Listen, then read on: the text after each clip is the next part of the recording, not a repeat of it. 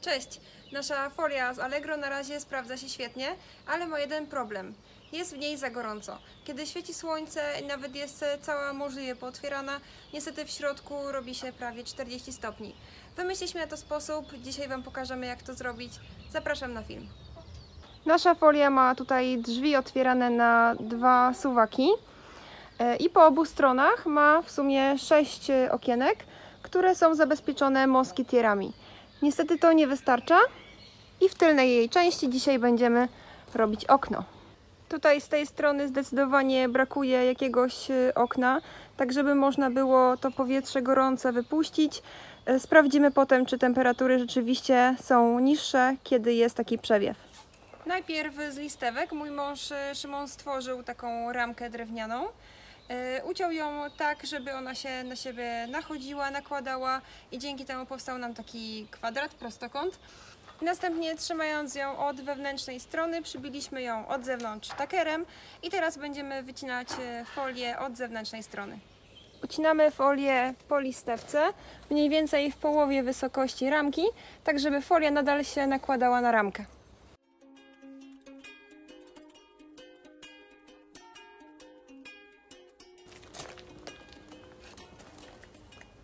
Żeby ustabilizować e, folię, którą tutaj wycięliśmy, e, przymocujemy na dole listewkę, przytakerujemy ją, natomiast e, po bokach zamontujemy rzepy samoprzylepne, żeby w razie zamknięcia tego okna ta folia też tutaj nie była podwiewana z boku.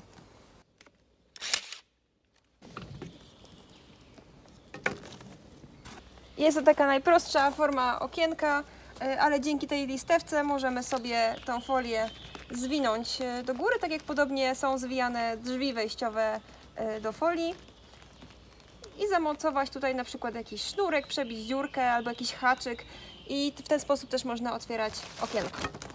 Albo jak to mój mąż przed chwilą zrobił, po prostu zarzucić okienko do góry i też będzie dobrze.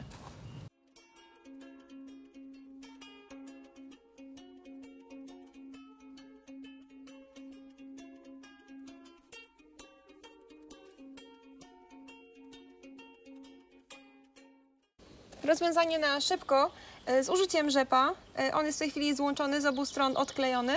Można przymocować go tutaj w tym miejscu, kiedy listewka ma zwiniętą folię i docisnąć na górę. Mocno docisnąć z obu stron. Tak samo zrobić i wtedy też to okno będzie w pozycji otwartej. Tak to w tej chwili działa.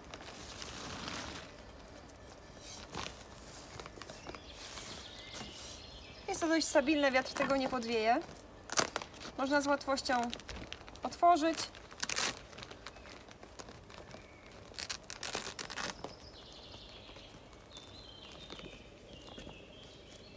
I tak się trzyma.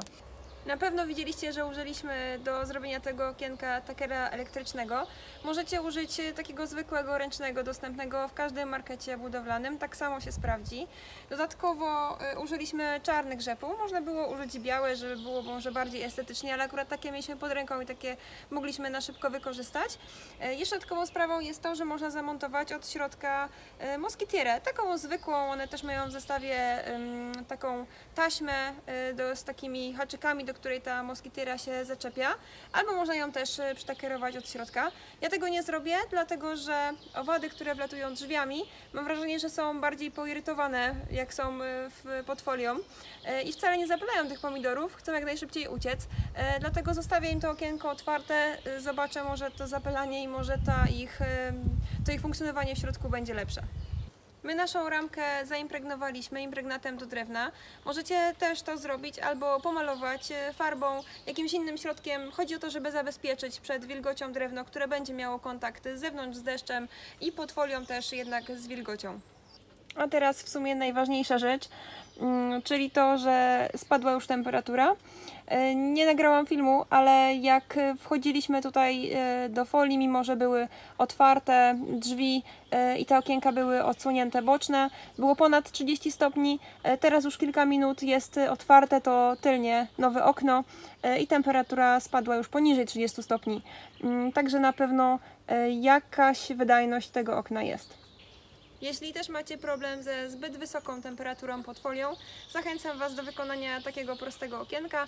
E, A ja dzisiaj się z Wami żegnam. Dziękuję za oglądanie. Zostawcie kciuka w górę, jeśli film jest dla Was przydatny i do zobaczenia. Cześć!